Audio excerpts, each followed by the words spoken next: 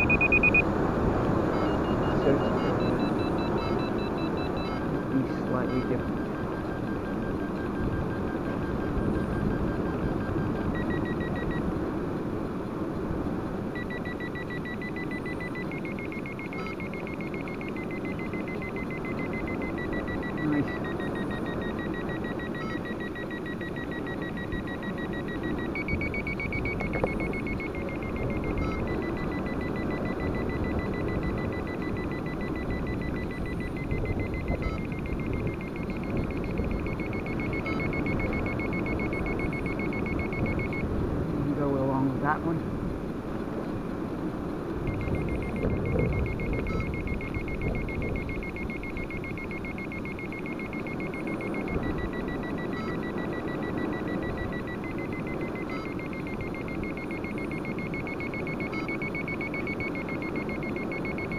Nice one.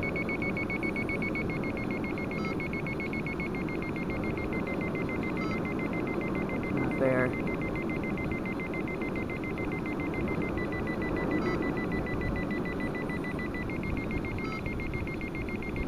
It's gonna want to go along with the wind for a long time.